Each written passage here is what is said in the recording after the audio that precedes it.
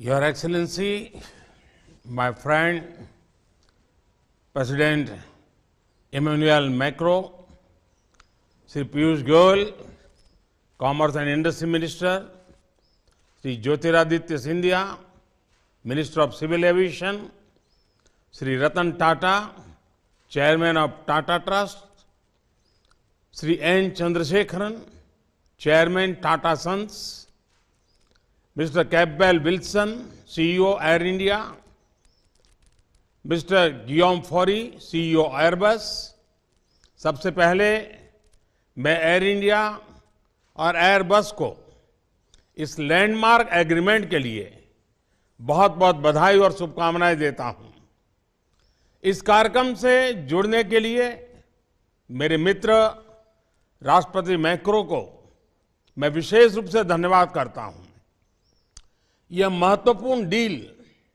भारत और फ्रांस के गहराते संबंधों के साथ साथ भारत के सिविल एविएशन सेक्टर की सफलताओं और आकांक्षाओं को भी दर्शाती है।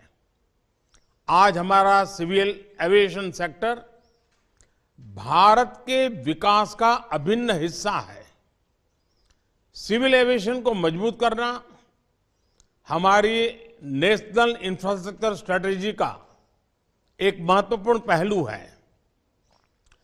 पिछले आठ वर्षों में भारत में हवाई अड्डों की संख्या 74 से उछलकर 147 हो गई है, यानी लगभग दोगुनी बढ़त।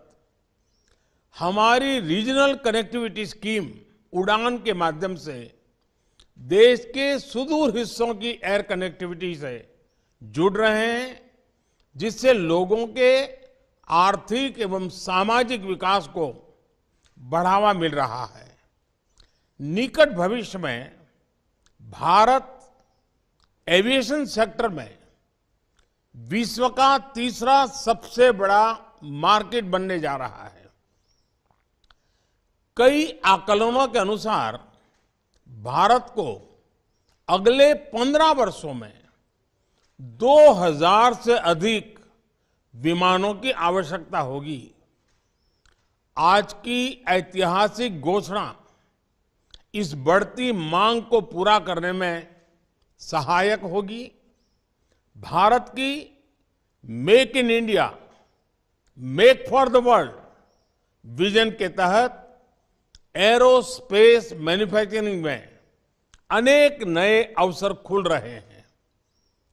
ग्रीनफील्ड और ब्राउनफील्ड एयरपोर्ट्स के लिए ऑटोमेटिक रूप से 100 परसेंट एफडीआई का प्रावधान रखा गया है। उसी तरह ground handling services, maintenance, repair and overhaul, यानी एमआरओ में भी 100 परसेंट एफडीआई की अनुमति दी गई है। भारत पूरे क्षेत्र के लिए एमआरओ का हब बन सकता है। आज सभी ग्लोबल एविएशन कंपनीज़ भारत में मौजूद है। मैं उन्हें इन अवसरों का पूरा लाभ उठाने के लिए आमंत्रित करता हूँ। फ्रेंड्स, एयर इंडिया और एयरबस का समझौता, भारत, फ्रांस स्ट्रेटेजिक पार्टनरशिप के लिए भी एक महत्वपूर्ण उपलब्धि है। कुछ ही महीनों पहले, अक्टूबर 2022 में, मैंने वडोदरा में डिफेंस ट्रांसपोर्ट एयरक्राफ्ट प्रोजेक्ट के शिलान्यास में हिस्सा लिया था। 2.5 बिलियन यूरो के निवेश से बन रहे, इस प्रोजेक्ट में भी टाटा और एयरबस की साझेदारी है। मुझे ये जानकर भी खुशी है कि फ्रेंच कंपनी साफरान विमानों के इंजन की सर्विस के लिए भारत में सबसे बड़ी एमआरओ फैसिलिटी स्थापित कर रही है। आज इंटरनेशनल ऑर्डर और मल्टीलेटर सिस्टम की स्थिरता और संतुलन सुनिश्चित करने में भारत फ्रांस भागीदारी प्रत्यक्ष भूमिका निभा रही है। चाहे इंडो पैसिफिक क्षेत्र में सुरक्षा और स्थिरता का विषय हो या वैश्विक फ़ूड सिक्योरिटी तथा हेल्थ सिक्योरिटी, भारत और फ्रांस साथ मिलकर सकारात्मक योगदान दे रहे हैं। राष्ट्रपति मैक्रो, मुझे विश्वास है कि इस वर्ष हमारे द्विपक्षीय संबंध और भी नई ऊंचाइयों को छुएँगे। भारत की जी ट्वेंटी अध्यक्षता के अंतर्गत हमें साथ मिलकर काम करने के लिए और अधिक अवसर प्राप्त होंगे।